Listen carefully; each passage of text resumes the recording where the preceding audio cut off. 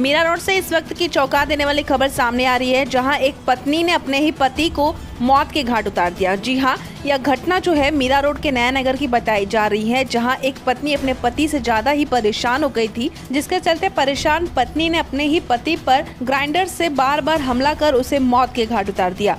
वही घटना की सूचना लगते ही मीरा रोड पुलिस जो है मौके पर पहुँची और शव को कब्जे में लेकर पोस्टमार्टम के लिए भिजवा दी। वहीं इस पूरे मामले पर पुलिस आगे जाँच कर रही है। शांति नगर सेक्टर सात में